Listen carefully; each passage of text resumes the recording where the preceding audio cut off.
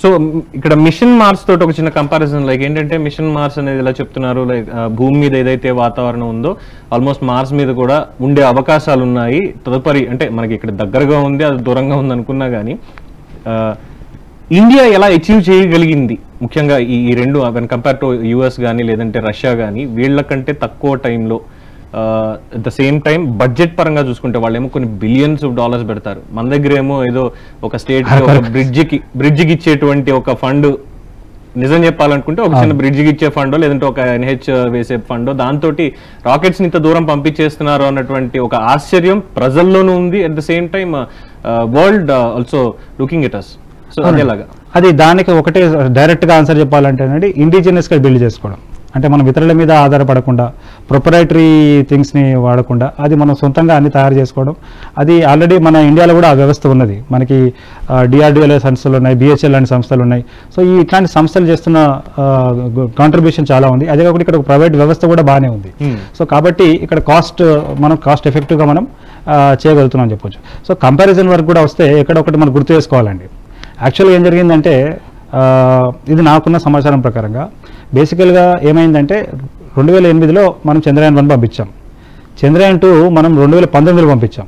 ఎందుకు పదకొండు సంవత్సరాల గ్యాప్ వచ్చింది అని కనుక చూస్తే యాక్చువల్గా జరిగింది ఏంటంటే చంద్రయాన్ టూ కోసం ఏదైతే ల్యాండర్ మనం తయారు చేసుకున్నామో ఆ ల్యాండర్ ఒక టెక్నాలజీ మన దగ్గర లేదు. ఎప్పుడు?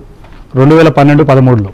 యాక్చువల్గా రెండు వేల పన్నెండులో రష్యాతో టైఅప్ అయ్యి మనం ఒక మిషన్ పంపిద్దాం అనుకున్నాం. ఇదే ల్యాండర్ చంద్రయాన్ వన్ని రష్యా ఒక సహాయంతో చేద్దాం చంద్రయాన్ టూని చంద్ర రష్యా ఒక సహాయంతో చేద్దాం అనుకున్నాం మనం. ఎందుకంటే అందులో ఆ రష్యాతో ఏం చేద్దాం అనుకున్నాం అంటే ఆర్బిటర్ ఏమో మనం తయారు చేస్తాం ల్యాండర్ ఏమో వాళ్ళు తయారు చేస్తాం. ఇది బేసికల్గా ఉన్నది. కాకపోతే కొన్ని అనుకోని కారణాల వల్ల వాళ్ళు వెనక జరిగిపోయారు మా వల్ల కాదు మేము చేయలేమని చెప్పేసి చివరి ఆఖరిలో హ్యాండ్ ఇచ్చిన పరిస్థితి ఉంది. అయితే నాకున్న సమాచారం ఏంటంటే అయితే మన శాస్త్రవేత్తలు ఏమాత్రం దిగాలు పడకుండా మన ల్యాండర్ని తయారు చేసుకొని రెండు రెండు వేల పంతొమ్మిది చేశారు. అయితే రెండు వేల పన్నెండు పదమూడులో ఏం జరిగిందంటే ఈ చంద్రయాన్ టూకి అప్పుడు చంద్రయాన్ టూకి కావాల్సిన మొత్తం వ్యవస్థ అంతా రెడీగా ఉంది కదా. సో దానిని తీసుకొని దాన్ని మంగళ్యాన్గా మార్చి ఎస్ మార్స్ ఆర్బిటర్ మిషన్ చేశారనేది నాకున్న సమాచారం అండి. అంటే చూడండి మన శాస్త్రవేత్తలు ఎక్కడ ఏది పోనివ్వకుండా ఎక్కడ ఏది లేకుండా అంటే అది ఆ అవసరం ఏమొచ్చిందనేది ఒకటి ఆలోచించాలండి. అవసరం ఏంటంటే ఎక్కడో ఒక చోట మన భారతదేశం గొప్పది మనం అందరికన్నా ముందు చేయగలుగుతామని చెప్పాలి. ఏమని చెప్పాలనుకుంది?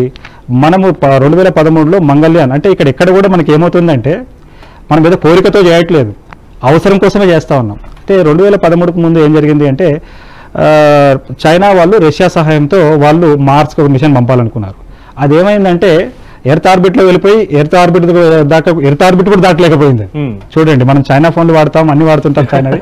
ఆ చైనా టెక్నాలజీ ఎర్త్ దాటలేకపోయింది. జపాన్ వాళ్ళు ఎప్పుడో గతంలో కూడా మార్స్కి మిషన్ పంపాలనుకున్నారు.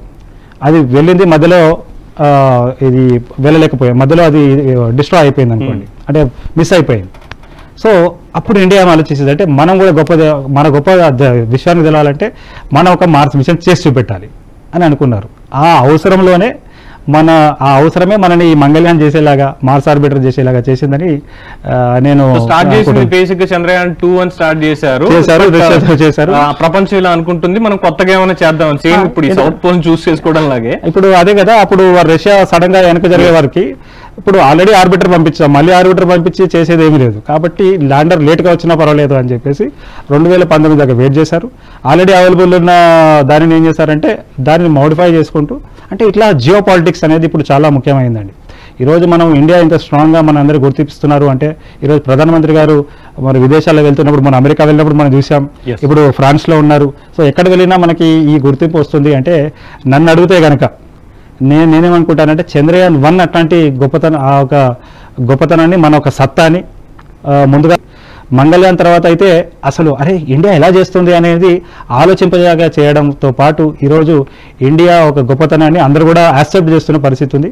గొప్పతనమే కాకుండా వారు చేసే మిషన్స్లో ఇండియా కూడా మనతో ఉండాలి. ఖచ్చితంగా ఉండాలి దట్ అనుకుంటున్నారు ఇస్ మై నెక్స్ట్ క్వశ్చన్ ఏంటంటే ఇప్పుడు నాసా కానీ లేదంటే యుఎస్ఎస్ఆర్ వాళ్ళు కానీ ఫస్ట్ టైం చంద్రయాన్ వన్ పంపించిన తర్వాత అరే వీళ్ళు ఫస్ట్ టైం లోనే అక్కడ ఆర్బిట్లోకి వెళ్ళిపోయారు.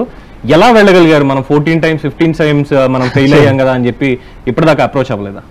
అంటే ఒకటండి డెఫినెట్గా సి ఏమవుతుందంటే ఈ అంతరిక్ష రంగంలో ఏమవుతుందంటే మీకు ఏవి పూర్తిగా ఎవరు క్లియర్గా చెప్పరు. ఇలా చేయమని ఇలా చేయాలనో చేయొద్దని చెప్పి ఏం చెప్పరు.